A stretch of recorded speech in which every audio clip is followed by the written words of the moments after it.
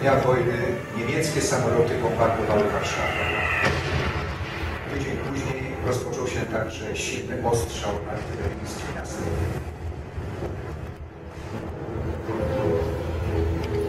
Siedemnastego września 1939 roku ogromny pożar ogarnął Zamek Królewski. Tego dnia, gdy dawna królewska rezydencja została zasypana gradem pocisków i bomb zapalających, Hitler osobiście obserwował oblężenie Warszawy. Zapaliły się wówczas wieże Władysławowska i Zygmuntowska oraz wszystkie skrzydła budowy. Na wezwanie władz miasta do walki z pożarem stawili się nie tylko strażacy i pracownicy zamku, ale także mieszkańcy stolicy.